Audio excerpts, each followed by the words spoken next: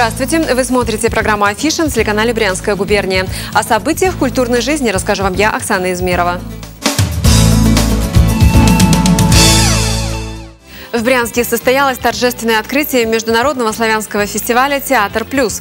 Он явился продолжением уже давно полюбившегося зрителям фестиваля «Славянские театральные встречи». На знаковом для нашего города событии побывала и наша съемочная группа. Что вы коробите, мой милый Oh!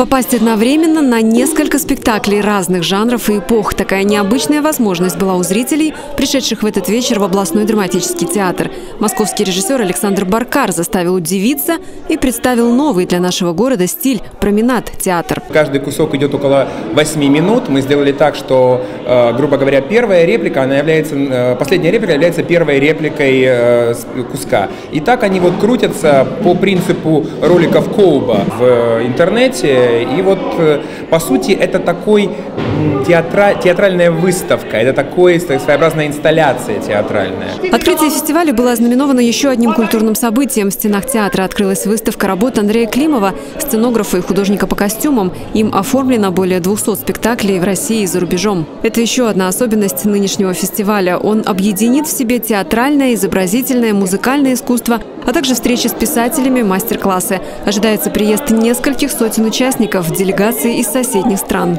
Я участвую в качестве волонтера впервые, и мне очень хочется узнать, как это, попробовать это, э, познакомиться с новыми людьми. Мы будем сопровождать актеров, э, проводить экскурсии, э, показывать им наши достопримечательности. Сожалею о том, что не смогу побывать на всех мероприятиях. А так, в принципе, взял билеты на все спектакли, которые будут в нашем театре. Хочется пожелать всем артистам удачи, успеха, вдохновения творческого.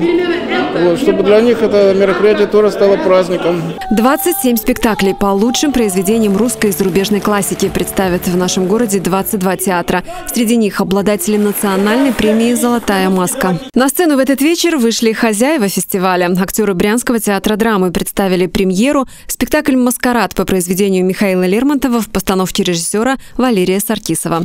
Государственный академический молодежный театр представил на брянской сцене спектакль «Я хочу в школу». В Москве он идет с неизменным аншлагом. Брянская публика тоже ждала его с нетерпением. Ну, Мы в этом спектакле попытались э, не столько играть э, роли, сколько поиграть в театр. То есть э, все ребята молодые, всем достаточно и весело, и интересно, и не так давно в их жизни была школа, чтобы ее окончательно забыть. И кроме того, они же не слепые, они видят, что происходит в системе э, российского, да не только российского образования, Спектакль поставлен по одноименному произведению Андрея Жвалевского и Евгении Пастернак. Обращение к теме образования – задача сложная и ответственная, но если в Москве у спектакля «Рамта» неизменный аншлаг, значит, она волнует общественность. Вообще я люблю рамт, я люблю актеров рамта. Я иногда езжу в Москву смотреть их спектакли. Глобальная тема, тема учителей, учеников. Вообще это сейчас в антракте одна моя знакомая сказала, по этой проблеме так пройтись трактором. Это замечательная штуковина, которая поднимает вот эту проблему, которая дает возможность понять и принять решение. Из одной системы, где обучение строилось на проектной деятельности, полетах на воздушном шаре, лабораторных опытах, ребята попадают в классическую. Они не готовы к жестким рамкам и отношениям друг к другу по новым законам, законам выживания. Сядь ровно, Анастасия Львовна рассердится. А почему все читают одинаково? Потому что так правильно. Кто быстрее прочел, тот лучше выучил. Что за глупость? Так интересный, он как бы понимает наши проблемы детские. Молодежь, а так играют отлично прямо. Я позвоню куда надо, вам ясно? Елена Ивановна, что вы так кричите? А что такого? Ну вот почему нельзя? Потому что это школа, а не балаган, Ляпкова! Прекратить! Елена Ивановна, ну у нас перемена. Перемена Но Разрушить всегда легче, чем построить новое. Понимая это, режиссер Александр Баркар ставил перед собой задачу найти компромисс между классической школой и новаторскими решениями. Мне кажется, она найдет отклик в сердцах учителей, потому что это одновременно и далеко от реальности, и в то же время очень к ней близко. Действия на сцене молниеносно сменяют друг друга. Энергия актеров заражает зал, жажда знаний, жажда деятельности. Зритель э, ту архаичную форму, которая была там даже в 80-х годах прошлого века, уже не воспринимает. Скорость мышления стала совершенно другой. Поэтому для начала зрителю нужно дать много движения, при том, чтобы зритель даже немножко не, не поспевал за сюжетом, чтобы ему приходилось постоянно догонять. А потом, в нужный момент, когда они почувствуют, что мы разговариваем на их языке и на одной волне, просто вжарить им ту мысль, которая нам нужна, которая для нас важна, и тогда она попадает, тогда ее услышат. Это ну, практика, которой я занимаюсь уже почти 16 лет, и она, в общем, работает. Я вот старательно вливаюсь в коллектив. Я гоняю в баскет с ребятами. Хоп, я сижу в интернете. Я даже с уроков сбегаю. Антонов! Понимаете, просто все это как-то, ну, ну не по-настоящему. Все время приходится себе напоминать, что так надо, что это интересно, что надо радоваться. Я... Ну, вот я старательно радуюсь. Тема сложна для восприятия. Одних зрителей она заставила улыбнуться, а у других вызвала откровенный протест, но равнодушным не оставила никого. Томский областной театр куклы и актера «Скоморох» имени Романа Виндермана представит в нашем городе два спектакля. «Пикник» по произведению испанского драматурга Фернандо Арабаля. Спектакль является лауреатом национальной премии «Золотая маска».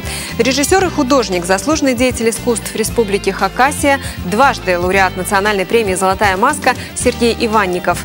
Спектакль для взрослых. Для того, чтобы выжить в условиях господства денег и безрассудства, есть только одна возможность – самозащита.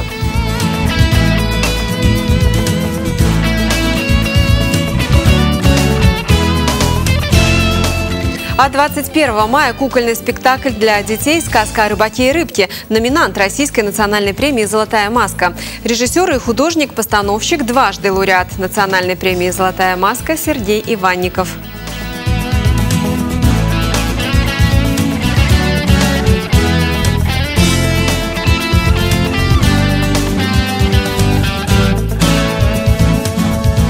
Гомельский областной драматический театр Республики Беларусь 20 мая покажет комедию в двух действиях «За двумя зайцами» в переводе Александра Островского. Поставил ее режиссер Валентин Варецкий, знакомый брянскому зрителю по работе над спектаклем нашего театра «Женитьба».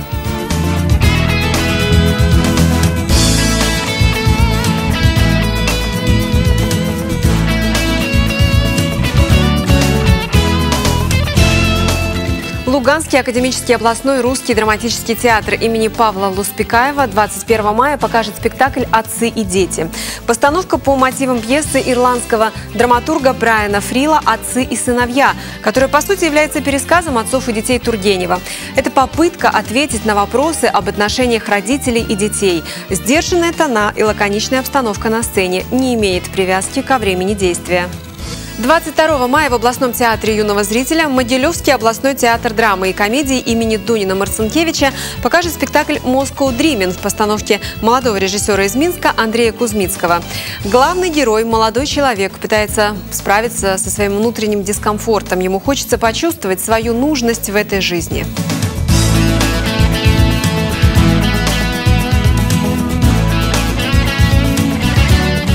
Орловский государственный академический театр имени Тургенева на Брянской сцене покажет неоконченный роман о любви и ненависти «Дубровский». Постановка Алексея Доронина. Он знаком брянскому зрителю по недавней премьере «Чудо святого Антония». Режиссер остался верен слову и эпохе Пушкина, но не рассказывает историю прошедших времен. Это вымышленная история, превращенная в реальность.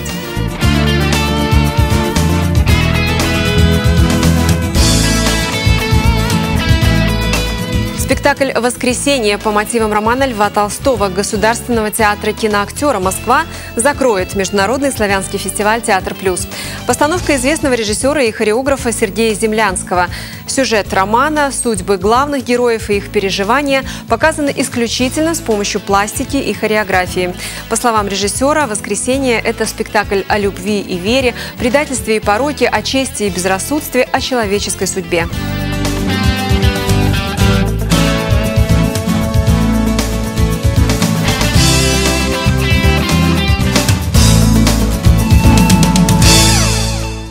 В рамках фестиваля в городском выставочном зале прошло открытие выставки «Сибирский валенок».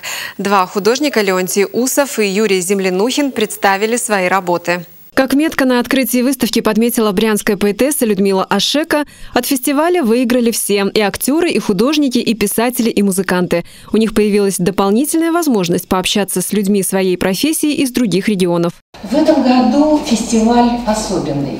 Он как э, синергия, которая охватывает все виды искусства. Творчество этого автора известно далеко за пределами России. Его работы хранятся в частных коллекциях и музеях мира. Леонтий Усов, заслуженный художник Российской Федерации, в далеком 1983 году начинал свой творческий путь на подмостках Брянского театра драмы. Проработав год, он уехал, поэтому, когда ему поступило предложение поучаствовать в фестивале в Брянске, с радостью согласился подобных произведений скульптуры, выполненных в технике э, деревянной скульптуры из э, сибирского кедра, очень любопытных композиционно и смыслово, наш зритель еще не видел скульптурах Леонтия Усова собраны воедино ироничное отношение к своим героям, взгляд как под микроскопом на некоторые детали образа. Невозможно пройти мимо триптиха Дали, где автор показывает всю сущность сюрреалиста, а автопортрет заставляет невольно улыбнуться. Все-таки вещи, которые Дали был прав, должны подходить, приходить из подсознания, внезапно, иногда с долгими мучениями, но вот они приходят, откуда-то рождаются, парадоксальные. Вот как, например, вот мой автопортрет, я как решил сделать свой автопортрет. Сначала удивились, почему там никого нету. Почему же там никого нет? Не знаю. Надо всех работа останавливаться, начинать задумываться, почему, копаться в себе. Это задача моя, я ее выполнил. Вот уже 20 лет Леонтий Усов делает совместные выставки со своим другом, земляком Юрием Землянухиным. В его арсенале портреты и пейзажи. В 90-е годы он, подметив потерю интереса к людям искусства, решил писать их портреты, чтобы оживить память зрителя.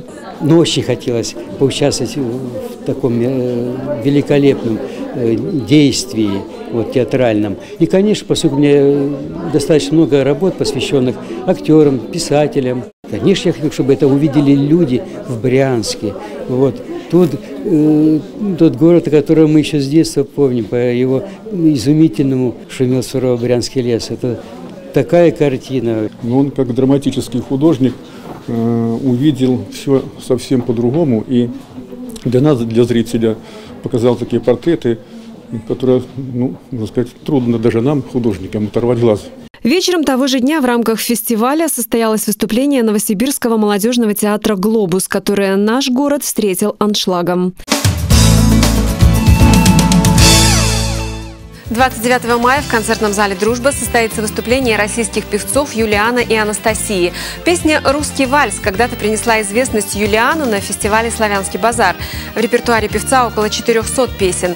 Анастасия – автор стихов и музыки к своим песням. Она начинала как рок-певица, и, кстати, ее сценический дебют состоялся именно в Брянске. 30 марта 2019 года состоялось бракосочетание Анастасии и Юлиана. Все, тебя, только боль А все, что будет без тебя Только боль Но все, что будет, будет рядом с тобой Да с тобой, мой любимый Планируйте свой досуг вместе с нами. Мы встретимся в следующую пятницу в 19.30. Ну а в любое время посмотреть программу можно на нашем сайте губерния.тв. До свидания.